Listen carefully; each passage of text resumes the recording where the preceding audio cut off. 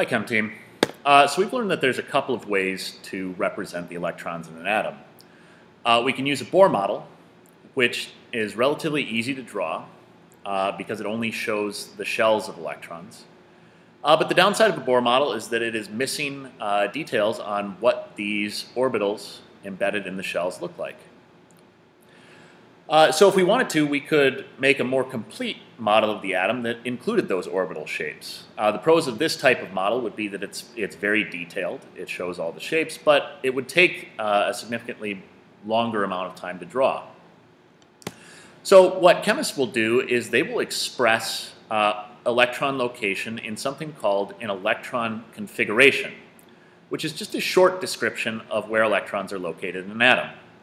So take, for instance, oxygen, which has uh, eight positive protons and uh, eight neutrons in its nucleus. Uh, those eight protons will attract eight electrons, which will attract into the most stable orbitals around oxygen first.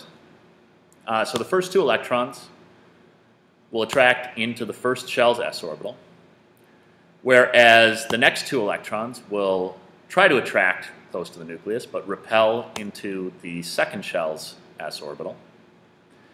Uh, and remaining electrons will repel into the less stable uh, second shell p orbitals. And again, these electrons won't share orbitals with each other uh, unless there's no other space available. So this last electron will double up uh, with this other electron.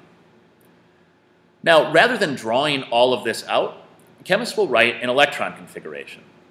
So because the first shell's s orbital has two electrons, uh, chemists will write this as uh, the first shell's s orbital has two electrons.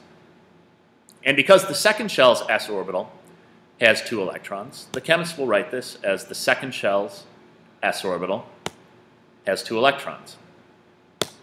And last, because the second shell's p orbitals have four electrons, these p orbitals in the second shell have four electrons, uh, chemists will write this as the second shell's p orbitals having four electrons.